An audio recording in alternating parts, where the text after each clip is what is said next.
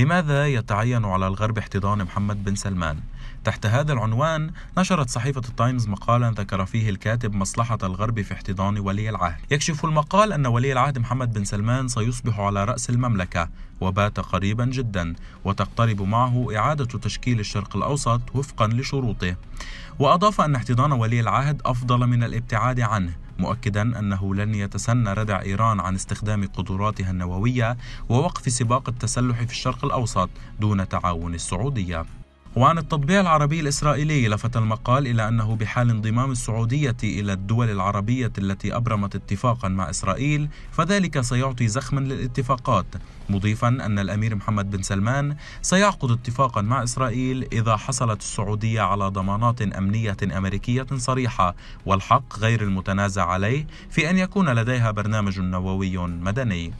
وكشف أن بن سلمان سيكون أول حفيد من الجيل المؤسس يتولى العرش ومن المرجح أن يحكم المملكة لعقود. وسواء شئنا أم أبينا فلا بد أن تبنى سياسة الشرق الأوسط حوله. من جهة ثانية وبحسب وكالة رويترز فإن بن سلمان عاد الآن كلاعب أساسي لا يمكن لواشنطن أن تتجاهله أو تنأى بنفسها عنه لكن عليها أن تتعامل معه على أسس نفعية.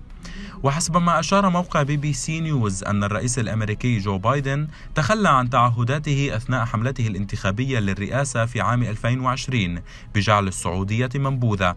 وقام منذ ذلك الحين بإصلاح العلاقات مع ولي العهد وطلب مساعدته في السيطرة على أسعار النفط وإدارة المشاكل الإقليمية الأخرى.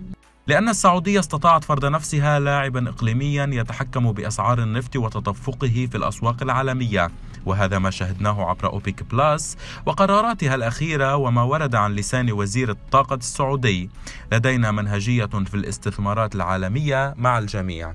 إذا ولي العهد محمد بن سلمان ماض على قدم وساق بتنفيذ خطته بتسييد السعودية للعالم العربي بخطى ثابتة وربما على الغرب مواكبة طموح الأمير الشاب.